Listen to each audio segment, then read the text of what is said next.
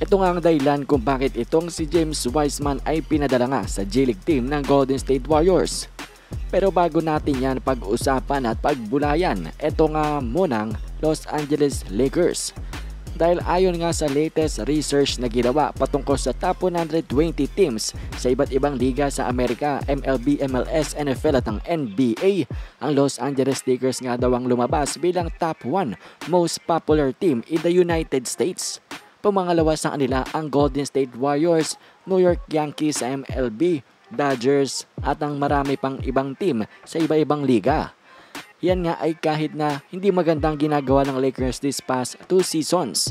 Pero nang dahil nga daw sa kanilang very decorated na history, yun nga ang naglapag sa kanila bilang most popular sports team in America. At ngayon naman ay pag-usapan nga natin ang latest MVP conversation dahil itong si Jason Tatum ang ninunguna dyan. Siya na nga ang number 1 pagdating sa NBA matapos niyang pangunahan ng kanyang team sa number 1 spot sa Eastern Conference 11-3. Tapos sinabayan pa nga ng kanyang solid performance this year kung saan nag-average siya ng 32 points per game, 7.5 rebounds, 4 assists on 49% field goal percentage, 36% sa 3-point line. MVP numbers tapos nagre-resulta pa sa panalo. Kaya naman siya ang tinanghal bilang number 1 so far. Pero as we know sa NBA where amazing happens, alam natin na hindi pa yan sure, hindi pa yan luck na MVP. Napakadami pang pwedeng mangyari, napakadami pang player na mag-umpisang mag-init. Like last year, si Steph Curry, siya ang number 1 early sa season pero at the end, sinong nanalo? Nikola Jokic. So tingnan natin mga idol kung eh, may pagpapatuloy ba ni JT ang kanyang napaka-solid na performance at ang solid na performance din ng kanyang team.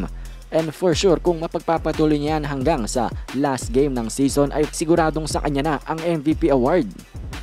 At ngayon naman ay pag-usapan na natin ang dahilan kung bakit pinadala itong si James Wiseman sa G-League. Inannounce yan kahapon ni Coach Steve Kerr na doon muna nga daw itong si Wiseman for an extended period of time. Ibig sabihin medyo matagal yon.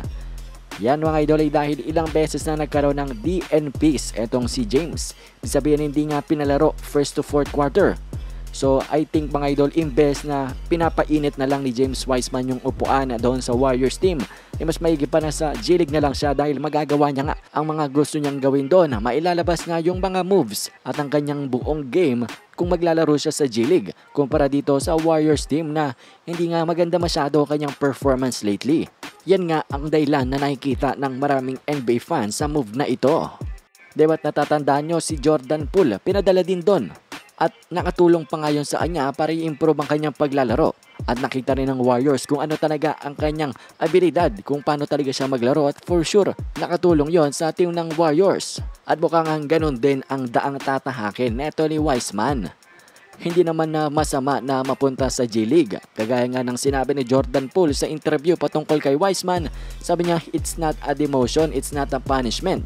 He's going to go down there and shoot as many shots as he wants, get as many touches as he wants, work on as many moves as he wants. Yan ang dapat na mentality ni James Wiseman papunta sa G-League. Dapat nga hindi niya masamain itong ginawa ni Coach Kerr dahil for sure sa ikababuti niya rin ito.